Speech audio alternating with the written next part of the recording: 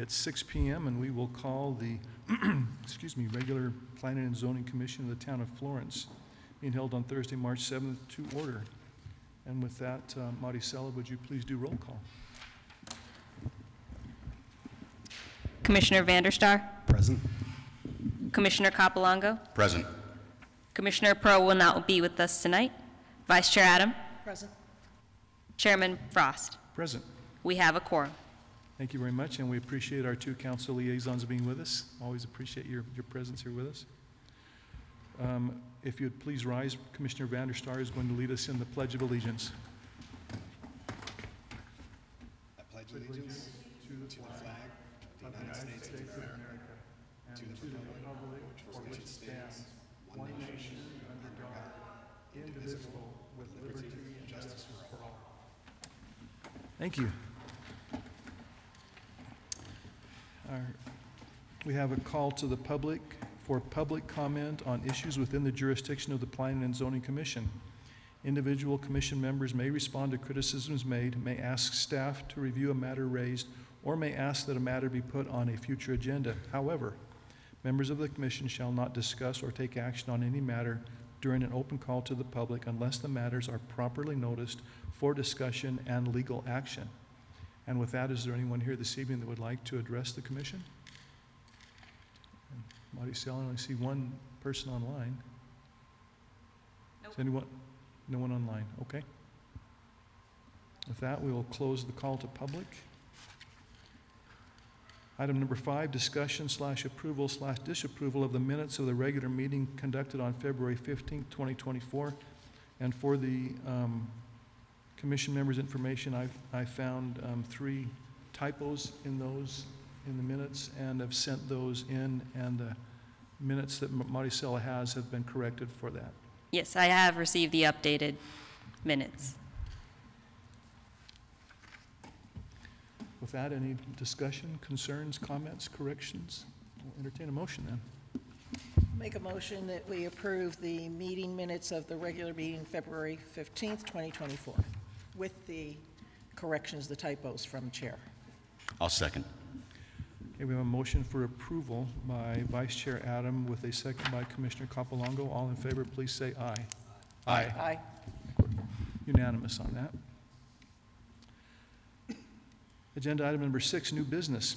Presentation slash approval slash approval with conditions or denial of a design review for home products by the, Mer- by Meritage Homes for Anthem at Merrill Ranch, units 41 and 43. Maricela?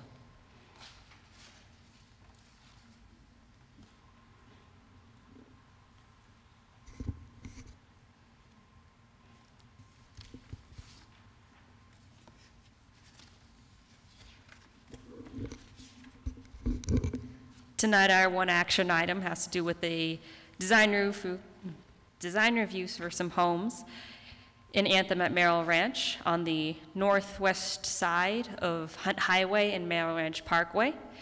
This is for units 41 and 43. They have been approved by town council, they have been recorded. And the group that has purchased those lots are, is Meritage Homes. They're looking at 159 lots between the two of those units, 55 in Unit 41 and 104 in Unit 43. They're proposing eight different floor plans with three different elevations each, and all of the homes will be single-story. There are nine different color schemes, and we have set the condition that they will not be built the same, or they will not build the same home elevation color combination next door or across from one another. And to give a visual about where these are at, they're not along the front of a High, except for most of 43. So 41 is on the left side and 43 is on the right.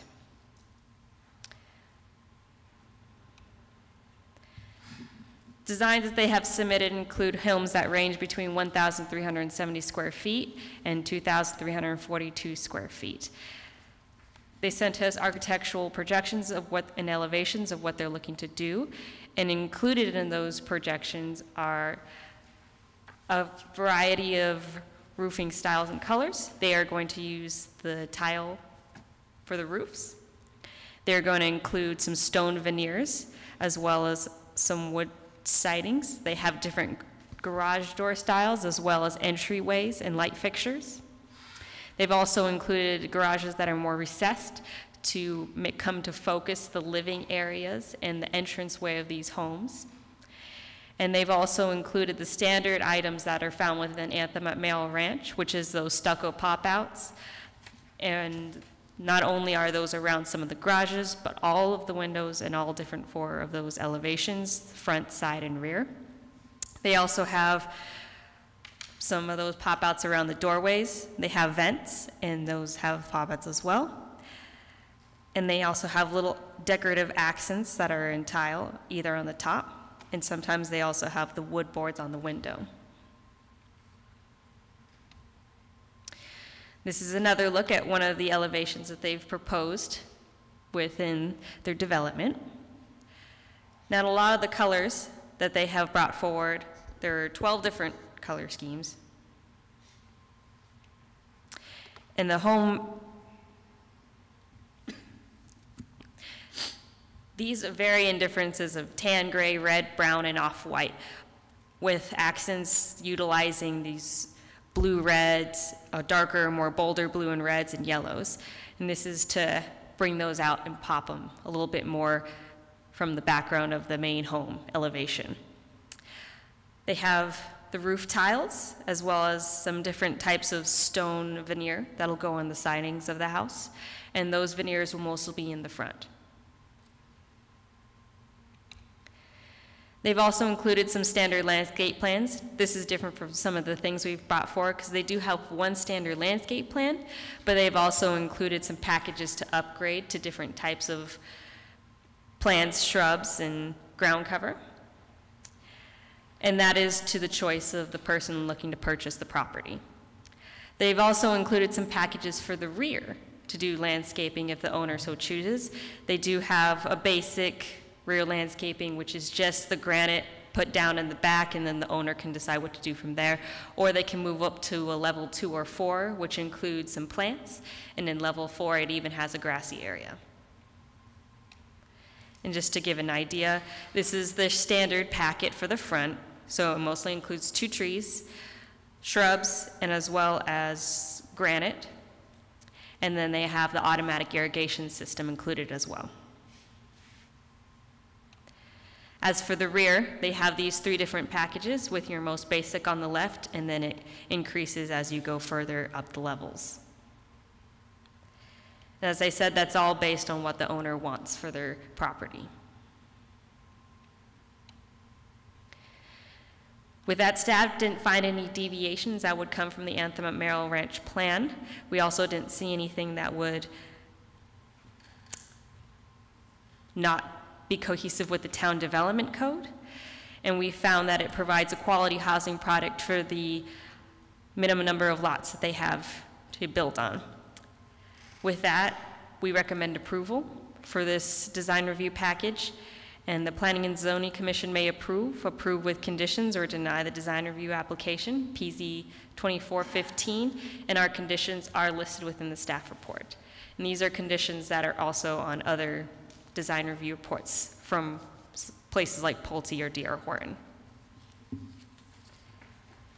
With that, are there any questions? If I, if I could, could you just go back to, the it's, it wasn't in the packet um, that we have in our books, just the overview map of where the parcels are again? Thanks.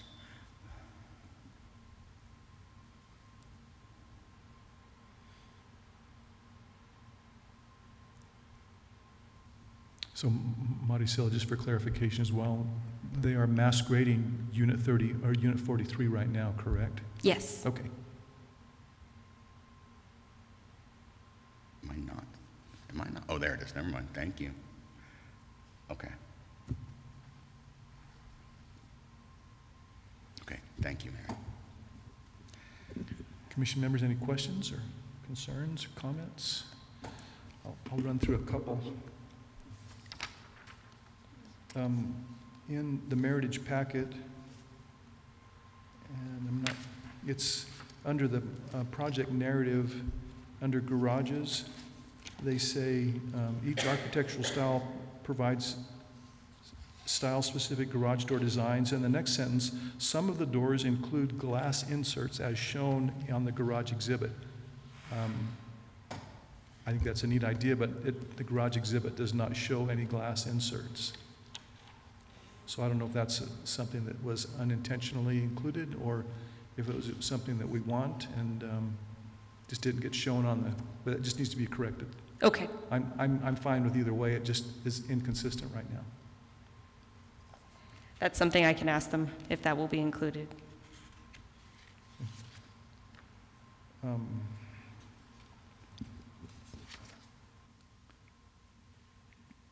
On the general landscaping front yard upgrade, level one, I just noted that um, their key does not include the symbol for the um, river rock. That's just a a minor thing, their, their key just doesn't include the, the symbology that, for the river rock. Not a big deal, just pointing that out. Um, and just a, a big thumbs up on the level three landscape package, that um, the turf is all artificial turf. So we have zero water use there, but have all the aesthetics. That's awesome. Another thing that um, I, I wanted to say to Meritage, and I wish they were here to hear me say it. Actually, we do have a Hey, representative who has awesome. arrived. Thanks for being here. So, Um, I, I really appreciate that you're treating the, the, the gates. Because there's so many developments that I go in that, the- as I move around the county, and I get around the county a lot, that many of the gates are just wood gates that start out looking really nice, and after about a year, they just look terrible. They just don't match the nice homes and the nice look that we've strived. But you've got the gates treated here to match the, the building. Big thumbs up from me. Thank you. and then I guess we can ask you the question about the window in the garages. Yeah. Oh, yeah, please give us your name and. Good evening. My name is Michelle Yuhan with M Architectural Consulting. I'm here on behalf of Meritage Homes. Um, So for the glass inserts, it should be an exhibit unless it got left out. We'll check on that. But um, yeah, some of the garage doors do include the glass, so that should be a part of it, just to create the diversity in the street scene. So some garage doors will just be solid, other ones will include that. Great, So we'll just verify, and if that was kept out of the exhibits, we'll provide it. great. Thank you. Thanks. And then, now that you're up here, let me ask you a question. I, I noticed in your typical plot plans that there are four of them that have setbacks of 20 feet or greater from the sidewalk to the front of the garage, and then four of them at 18 feet. And some research that we've done recently indicates that there are many vehicles that people are driving now that their length is greater than 18 feet. And knowing that many people in today's world use their garage not as a place to put cars, but a place to do storage, this means that many instances, the, the back of those vehicles are actually hanging onto the sidewalk, which is against the law because you can't obstruct that and they can be cited for it. So a request is if it's possible, and it looks like from just a quick look at I did of these plot plans, that all those that are, have the 18-foot setback could be pushed back so that we at least have 20 feet. Um, Yeah, let me bring that back to Meritage and see if they can go ahead and incorporate it, and then can I communicate it back through you? That would, that would be great. Okay. Just a, just a, a request, just so that we can park cars there and not get people in trouble. Yes, understood. And with that, thumbs up. Looks good. Thank you. Thank you, thank you. Commission members, anything else? Um, This, this isn't for you, this is actually for staff. Um,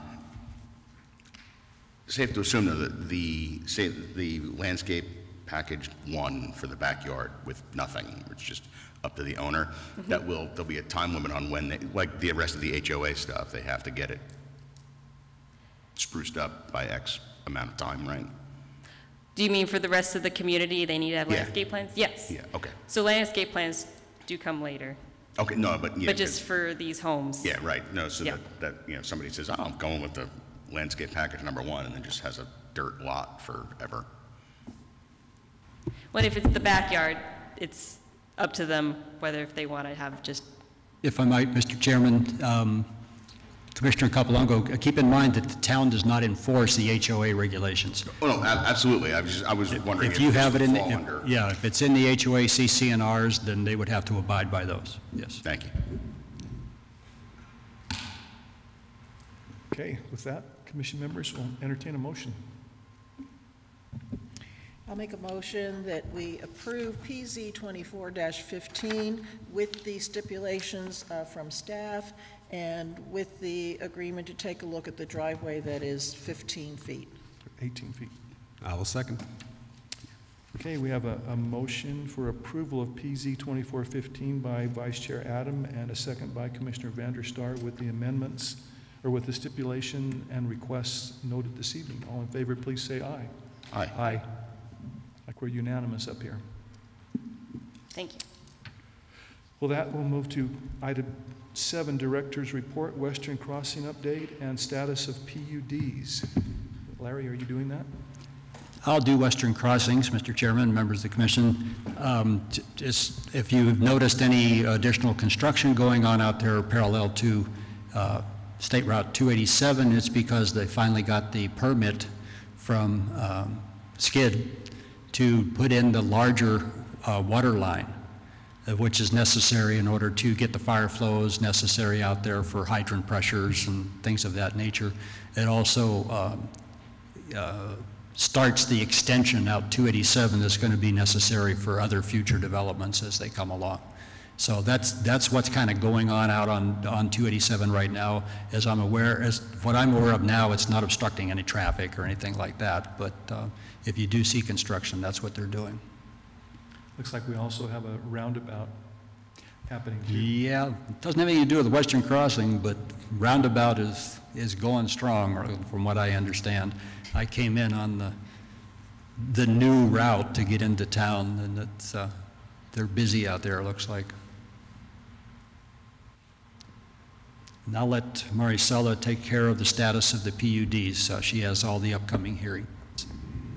CD Farms went to town council for its first hearing and its first reading, well, not first hearing, but the public hearing and the first reading on March 4th, or this past Monday. Several residents did come and speak to the project, and the representatives were there. CD Farms will go back on March 18th for its second reading and final action for town council. Florence 287, that PUD will also be going for its first reading and public hearing on March 18th. At this time, we don't have complete set dates for the northeast corner of Attaway and Hunt Highway or Attaway Crossing, but we have tentatively set that they will be coming back for planning and zoning, public hearing and recommendation on April 4th. That's the tentative at this time.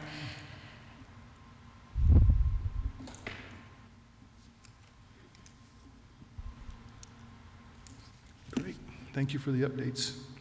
Call to the commissioners, current events.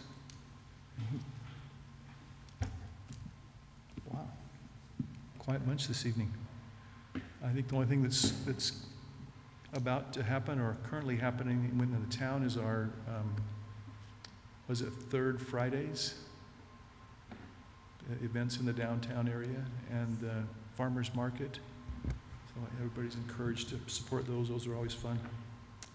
And we have our inaugural um, Florence Glow this Saturday. Flow and glow. Sorry? Is it flow and glow? Glow Go, yes. Glow and- Oh, very good.